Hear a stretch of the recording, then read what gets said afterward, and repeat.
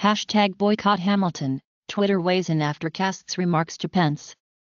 After the cast of Hamilton called on Vice President-elect Mike Pence to help lead an inclusive administration Friday, the Twitterverse soon weighed in, with hashtags hashtag Pence musical and hashtag boycott Hamilton quickly trending.